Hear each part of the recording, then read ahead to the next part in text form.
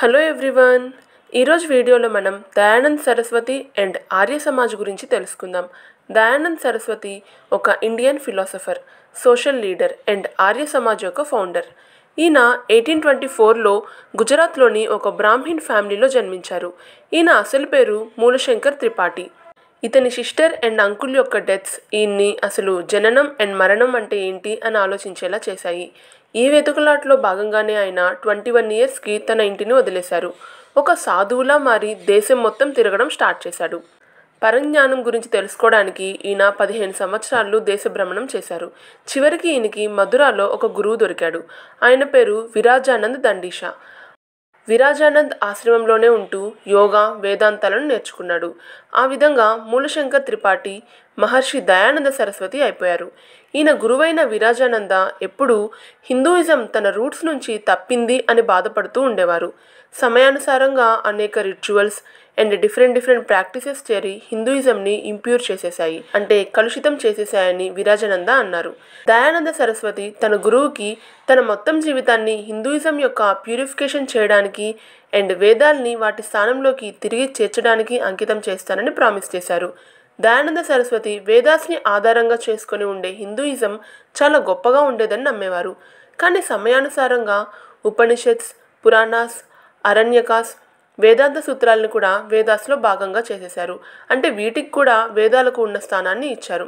దయానంద సరస్వతి క్లియర్గా ఈ ఉపనిషత్స్ పురాణాలు అరణ్యకాస్ ఇవన్నీ వేదాస్ యొక్క పార్ట్ కాదని హిందూయిజం కేవలం వేదాస్ మీదనే బేస్ అయిందని చెప్పారు. ఆ విధంగా ఆయన ఆర్యులకి సనాతన ధర్మానికి మధ్య ఒక లైన్ గీశారు.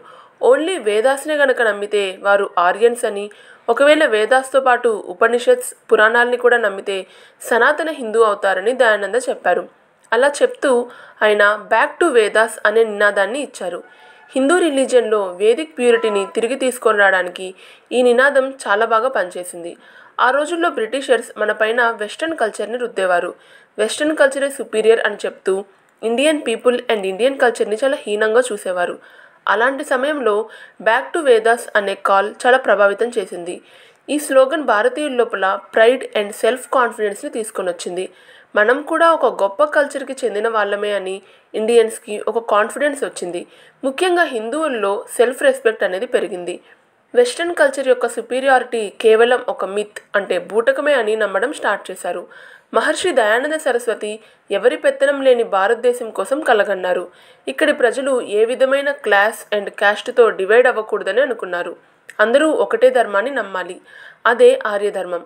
ఈ ఆలోచనలన్నింటినీ తన బుక్ అయిన సత్యార్థ ప్రకాష్లో రాశారు. సత్యార్థ ప్రకాష్ అంటే ది ట్రూత్ ఎక్స్పోజిషన్. ఈ బుక్ ఎయిటీన్ సెవెంటీ ఫైవ్లో పబ్లిష్ అయింది. ఇందులో ఆయన ఆ రోజుల్లో ఉండే ఇంపార్టెంట్ రిచువల్స్ ప్రాక్టీసెస్ అండ్ భావాల పట్ల తన వ్యూస్ని ఇచ్చాడు. ఆయన idol worship untouchability polygamy and హిందువుల్లో ఫేమస్ అయిన శ్రద్ధాంజలు వీటన్నింటితో మనం మన యాన్సిస్టర్స్కి అండ్ ఈ ప్రపంచంలో లేని వారికి వారి ఇష్టమైన భోజనాన్ని పంపిస్తాం. దయానంద వీటన్నింటినీ వేస్ట్ అని తేల్చేశారు. ఇంకా క్యాస్ట్ సిస్టమ్ అండ్ పురాణాల్ని నమ్మడం కూడా వదిలేశారు. క్యాస్ట్ సిస్టమ్ గురించి ఏమైనా ఒకటి రెండు మాటలైతే వింటానేమో కానీ అసలు ఈ చైల్డ్ మ్యారేజ్ ఏంటని దీన్ని అసలు యాక్సెప్ట్ చేయకూడదని దయానంద సరస్వతి అనేవారు. పెళ్ళి చేసుకోవడానికి అబ్బాయిల వయసు మినిమం ట్వంటీ ఫైవ్ ఇయర్స్ ఉండాలని గర్ల్స్కి సిక్స్టీన్ ఇయర్స్ ఉండాలని అన్నారు. అదేవిధంగా విమెన్కి కూడా సొసైటీలో ఈక్వల్ స్టేటస్ ఇవ్వాలని inter caste marriage and widow రీమ్యారేజ్ని కూడా ప్రమోట్ చేయాలని అనేవారు. వేదాస్లో మెన్షన్ చేసిన చతుర్వర్ణ సిస్టమ్ని కూడా దయానంద సరస్వతి యాక్సెప్ట్ చేశారు. చతుర్వర్ణ సిస్టంలో జాతి అనేది పుట్టుక నుంచి కాకుండా మనిషి యొక్క ఆక్యుపేషన్ నుంచి డిసైడ్ అవుతుంది. వీటన్నింటినీ ఆధారంగా తీసుకుంటూ దయానంద సరస్వతి ఎయిటీన్ సెవెంటీ ఫైవ్లో ఆర్య సమాజ్ని ఎస్టాబ్లిష్ చేశారు. ఆర్య సమాజ్ అంటే సొసైటీ ఆఫ్ నోబుల్స్ అని అర్థం. నెక్స్ట్ వీడియోలో మనం ఆర్య సమాజ్ని డీటెయిల్డ్గా కవర్ చేసుకుందాం. ఇండియన్ హిస్టరీని డీటెయిల్గా కవర్ చేయడానికి బుక్స్తవ తెలుగు ప్లేలిస్ట్ని ఫాలో అవ్వండి. and thank you so much for watching and supporting Bookstava.